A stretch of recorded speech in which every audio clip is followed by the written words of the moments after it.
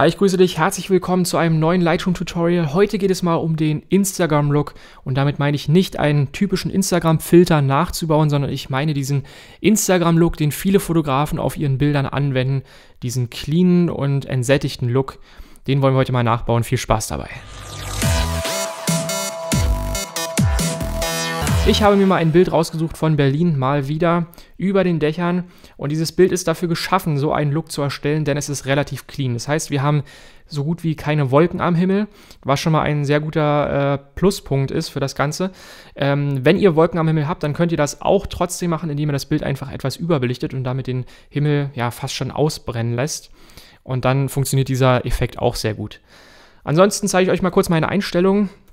Ich habe hier mit einer 50. Sekunde fotografiert bei einer Blende 8 und ISO 100, 14 mm, das Ganze auf einem Stativ und wie gesagt, ich war so ein bisschen erhöht auf einem Hochhaus.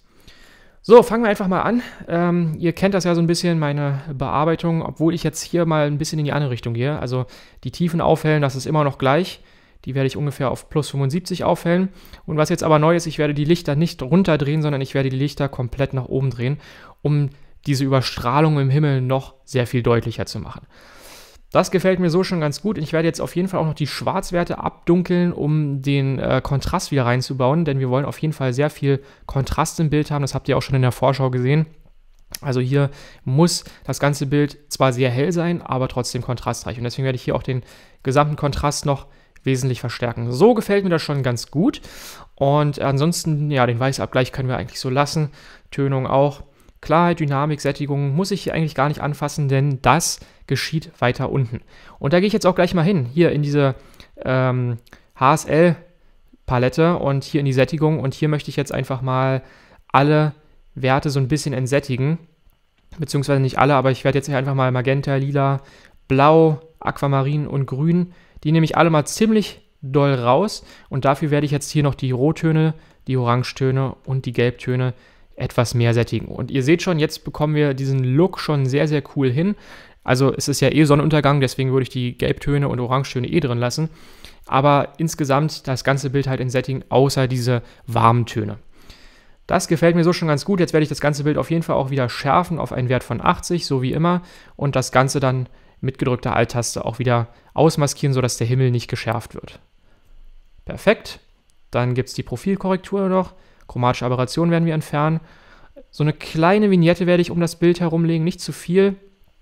Und ich werde auf jeden Fall auch noch hier in die Kamerakalibrierung gehen. Das äh, vergessen ja viele mal ganz oft. Hier kann man auch noch ein, sich ein Profil aussuchen. Und ich probiere es einfach mal mit Camera Landscape. Das passt hier schon ganz gut, denn da gibt es noch ein bisschen mehr Kontrast. Die Farben werden noch ein bisschen verstärkt. Das sieht doch super aus. So, jetzt können wir noch ein bisschen was machen. Ich würde jetzt hier nochmal einen Verlaufsfilter nehmen und hier die Ecken noch ein bisschen abdunkeln, denn das hat die Vignette jetzt noch nicht so gut hinbekommen.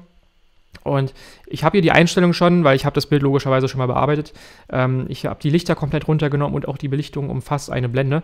Und jetzt werde ich hier einfach nochmal so ein bisschen ähm, das Ganze reinziehen und vielleicht auch von hier nochmal ein. Mal gucken, wie das aussieht.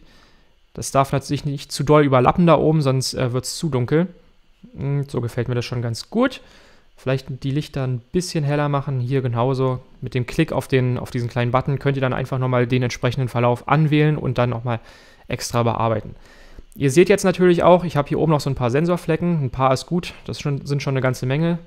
Ähm, das Bild ist auch schon ein bisschen älter. Ich habe inzwischen, glaube ich, meine Kamera irgendwann nochmal sauber gemacht. Nichtsdestotrotz müssen wir hier auf jeden Fall nochmal in diesen Bereichsreparaturpinsel reingehen. Und dann können wir hier einfach auf die äh, entsprechenden äh, Punkte klicken oder hier komplett rüberziehen und dann werden die dann automatisch auch von Lightroom entfernt.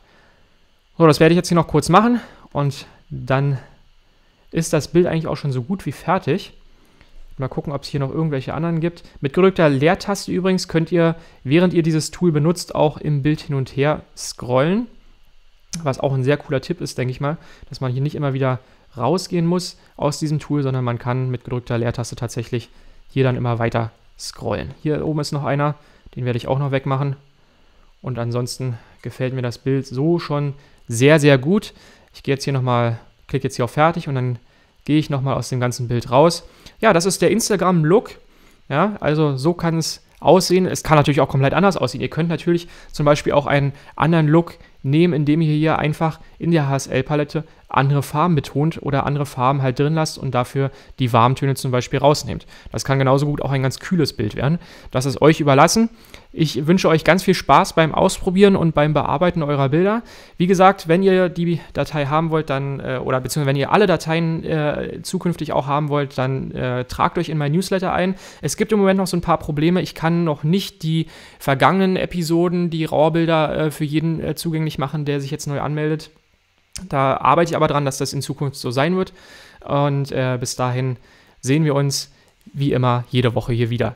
Also liked das Video, wenn es euch gefallen hat. Kommentiert auch gerne, wenn ihr Vorschläge habt für weitere Videos. Und ansonsten bis zum nächsten Mal. Ciao.